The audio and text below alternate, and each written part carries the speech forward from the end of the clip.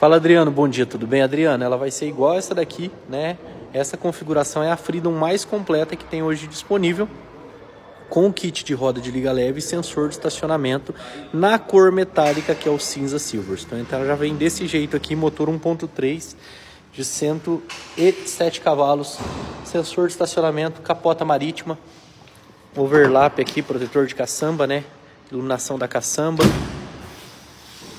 Aqui parte interna, direção elétrica, vidros, travas, alarme, retrovisor elétrico, chave canivete com telecomando.